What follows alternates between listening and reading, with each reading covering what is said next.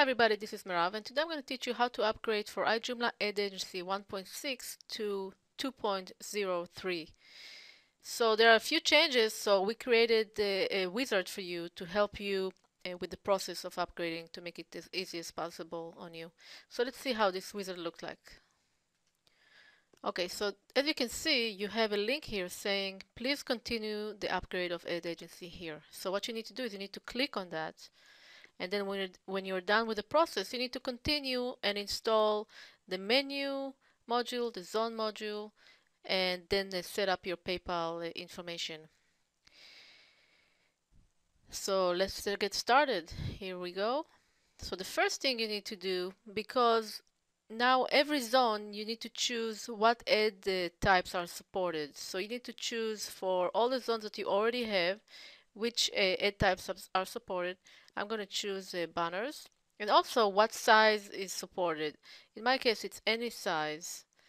Uh, and if you want to specify size, let's say you want standard banner 125 pixels by 125 pixels, then that's how you do it. And then you continue, you can choose a different like text ads or whatever it is that you want for this particular zone. And then you click continue. And then the next step, you need to choose for the packages which zones are supported. As you can see, we don't let you choose zones that are not uh, already exist. That means we don't let you just choose any module position. You have to actually have a zone in order uh, to, to choose it for the package. So just choose, you can choose everything or whatever works for you for each package and then click continue. And now you will see uh, for every campaign that you have, you need to choose for every banner, first of all, if you want to have this banner or not. By if it's uh, if it's already selected, you need to choose delete if you don't want this banner to be on a campaign. Or if uh, the banner is not included, you need to click on the boxes under add.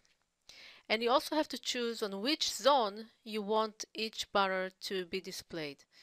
So I'm going to choose a left zone or right zone, whatever is available. Now it's only going to show you zones that are appropriate for this banner. For example, if you chose, uh, if this is like a, a standard banner, it will only show you zones that support standard banners. If this is a text ad uh, banner, then it's only going to show you zones that support text ads.